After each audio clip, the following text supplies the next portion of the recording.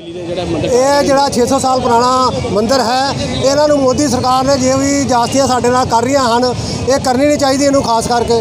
ਸਾਡੇ ਨਾਲ ਤਕਰੀਬਨ ਜਥੇਬੰਦੀ ਰਵਿਦਾਸ ਜਥੇਬੰਦੀ ਚੱਲ ਰਹੀ ਹੈ ਬਾਲਮਿਕੇ ਜਥੇਬੰਦੀਆਂ ਚੱਲ ਰਹੀਆਂ ਹਨ ਤੇ- ਤਕਰੀਬਨ ਲੱਗਦਾ ਕੋਈ ਰਾਜਨੀਤੀ ਖੇਡ ਰਹੀ ਹੈ। ਹਾਂ ਰਾਜਨੀਤੀ ਖੇਡ ਰਿਹਾ ਜੀ ਬਿਲਕੁਲ ਰਾਜਨੀਤੀ ਖੇਡ ਰਿਹਾ ਦਲਤਾਂ ਨਾਲ ਰਾਜਨੀਤੀ ਖੇਡ ਰਿਹਾ। ਫਿਰ ਦਲਤਾਂ ਨਾਲ ਜੋ ਦਲਤਾਂ ਨਾਲ ਰਾਜਨੀਤੀ ਖੇਡ ਕੇ ਤੇ ਮੰਦਰ ਢਾਇਆ ਕਰ ਇਹ ਤੇ ਬਾਕੀ ਕਿਉਂ ਨਹੀਂ ਦਿੱਤੀ ਰਾਮ ਦੇ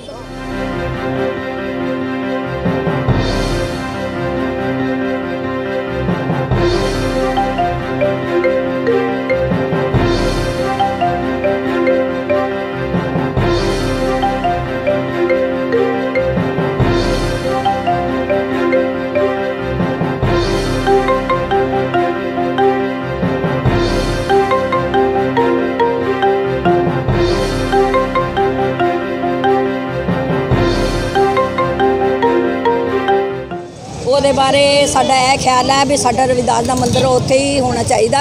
ਨਹੀਂ ਤੇ ਸਾਰੀ ਸੰਗਤ ਦਿੱਲੀ ਤੱਕ ਅਸੀਂ ਪਹੁੰਚਾਂਗੇ। ਆਲ ਇੰਡੀਆ ਤੱਕ ਆਲ ਇੰਡੀਆ ਤੱਕ। ਜਿੰਨੀ ਵੀ ਸਾਡੀ ਬਰਾਦਰੀ ਜਿੰਨੀ ਵੀ ਕੌਮ ਹੈ ਅਸੀਂ ਉੱਥੇ ਪਹੁੰਚਾਂਗੇ ਉੱਥੇ ਹੀ ਬੈਠਾਂਗੇ ਉੱਥੇ ਮਰ ਜਾਾਂਗੇ।